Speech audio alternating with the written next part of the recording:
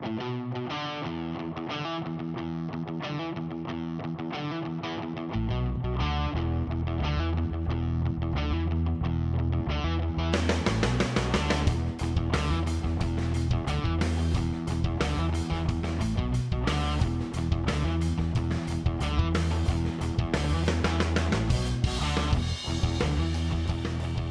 has given you talent.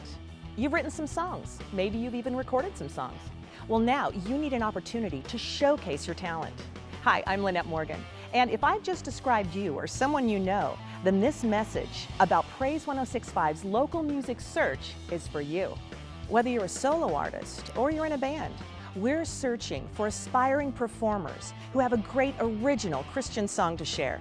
The winner will be featured on Praise 1065, receive a professional recording session at Sound Suite, and appear on stage with Lincoln Brewster and Down Here as part of History Makers Sunday night celebration concert. It could be you, your friends, or maybe somebody on your worship team.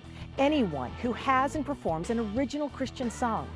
Entries, including a recording of your song, are being accepted online at praise1065.com until April 23rd.